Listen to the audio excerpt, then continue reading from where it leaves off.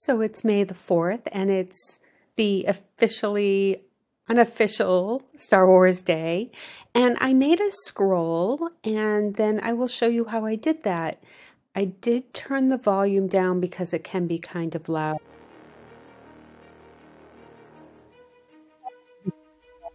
Music that is in Create Studio and their other app, Twinkle. And I had done this a while back in the original CS, and I kind of forgot how I did it, but I think this works. And I talked through the, the type, but take, if you're interested, take what I have to share with you, and you can experiment and create your own. So the first thing I did is I needed a background. And I did find one very quickly in Vecteezy, I just put Starry Night, I think. Oh, sorry, I need to go to video. And it was right, actually right here. so it didn't take me long at all. Um, if you don't have All Access Pass and you don't have Vecteezy, you certainly can bring in your own. You can look through Pexels and there's some that look like they will work here, and Pixabay will have some as well. So, or you can bring in anything you want from your own um, elements that you own. So, the first thing I did is I brought over my background. Then I'm going to add now what I had added is a rectangle that I made black and then I made it full screen and actually more than full screen, but I'll show you why soon. And I just put it at the top so that as the words were scrolling up, they kind of had a little bit of a fade. And I did that with this rectangle. So what I did with the rectangle, and let me just expand that. I'm here now. Let me just expand that. Where's my video? I'm just going to bring this down a little bit. What I did is I went to effects and components and I got the feather effect, put it on this rounded rectangle. Um, it's not even a rounded rectangle, but, and then I just added some fade. We'll check out how that works, how that ends up appearing once we get some text. Um, and then I also just duplicated that and I made it smaller. You can see right there that there's some, they're not matching. So it kind of gave a little fade to the edges. I made this one smaller and I put it at the bottom as the text was coming in. So again, I may change the amount of fade. This one I actually will want to flip because the fade I think is going to be on the top unless I change it. We'll have to check that out. I don't want to waste too much time, but we can look at it when we see the scrolling. Now what I'm going to do is I'm going to lock those because I do need the text to go underneath it. So I don't, so I want to work between the video and my rectangles.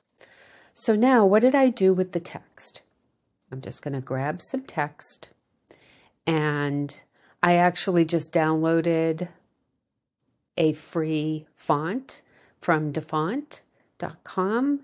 Um, can't use it commercially as far as I know, but for personal use. So here, let's just write this is, is your first line of text.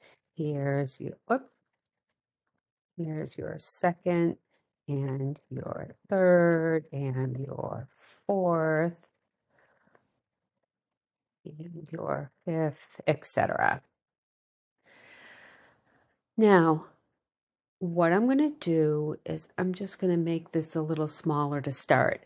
The time, um, the sizing and the timing, I really had to just keep adjusting a lot. So we may have to do the same here and we'll see how much we actually do get done. I'm going to extend this as long as my rectangles. I might extend it longer. I had it longer, but that's all that you can adjust after. I just want to make sure that these are all in the right locations. I think so. All right. So here, what I did with this, let's go over and look at my text. I have a starting animation, and you can see the text down there. And then it was a long animation, and then I had my end animation where it ended up at the top, and it was also smaller. So if you look at my purple outline of the text box, I want to get rid of these menus. You can see that it started larger and it got smaller. You can see the purple outline getting smaller. I had to add that at the end because the, last few lines really weren't um, getting smaller like the, the words at the top. And so it didn't really quite look like it was scrolling. At the beginning, let me put my full screen again. At the beginning, I made a 3D rotation of X and I slanted at the start and I had my scale larger. Then at the end, you can see that my scale is smaller and my X rotation also changed at the end. So let's see how we do that. Let's go to my new text that I just put. And what I'm going to do is I'm going to add an animation, rotation. I think I had position and scale, but you know what? I'm not. Yes, I did. I had scale I, and unique position. I'm going to drag my end keyframe out to the end. I'm going to leave a little at the beginning and the end just so I can play around with my time with my keyframes if I need to. At the beginning, I am going to start, I don't even remember, I just looked at it, but let's do my 3D rotation. Let's do, actually 42 sounds familiar because that kind of looks nice, doesn't it? So at the beginning, I'm going to have 3D rotation. Let me move this down so we can see the screen a little bit better. I'm also going to move this down to underneath my little text box. I'm sorry, my rectangle that I had put at the bottom, right down one of my rectangles. They're locked, so I can't move it right now. So the first text is underneath. Then I also want my scale to be larger. So I actually should have done that first because now my text moves up. My purple line shows me that it's centered and now I'm going to move it down again. So here we have it at the start and it's moving up. And at the end, I want, see how it's giving the faded effect to the um, text. I'm going to move it up and I'm all, and I want to make sure etc is all the way out. I'm also going to reduce the scale a little bit. And I had, whoops, sorry, wrong one.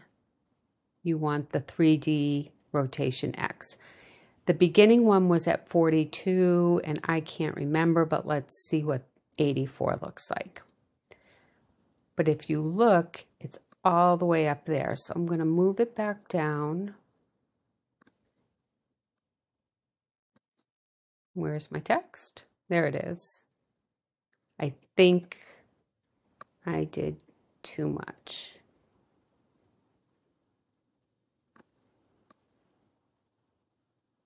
But we will never know. And oh, I wasn't at the end. So let's see what that looks like.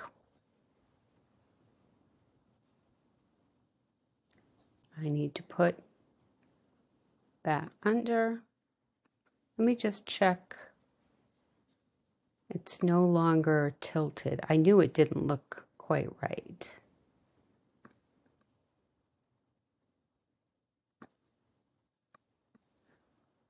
Did I...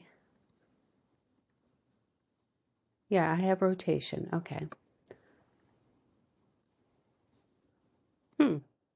Position, scale, rotation. Going to the end, and it went up. Oh, there we go. All right.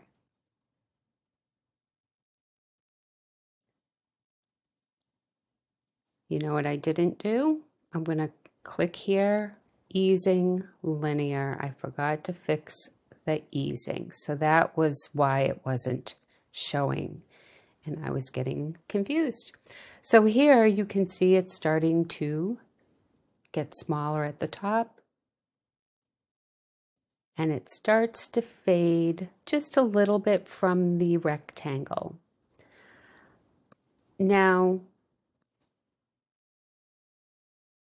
yes, I guess the bottom one is doing a little bit of a fade. I think I might have, let me unlock it. That's the top one. Let me unlock this one. I might have had it up a little bit more. Let's see how that looks. So that's pretty quick and easy, and I'm sure there's a lot of other different ways that you can do this. Again, like I said, I forgot how I did it way back in 2020, but um, I remember I made it for students who were graduating but it was 2020 and COVID, and so they didn't have a real graduation, so I had made just a video for them. Um, but there's a quick way to do it. Play around with it, see how it looks for you. Um, might like that a little bit more. I'd have to check what my other one looked like. Um, but you can make your own scroll. Now, the music was, you can get it in Twinkle and you can also get it in Create Studio if you have all access, and it's called These Nights. So if you go to, sorry, the music, um, I had been searching for different ones, but this is called These Nights. So if you search These Nights, there it is. And it was the closest thing I could find to kind of a Star Wars genre. Have fun. May the fourth be with you.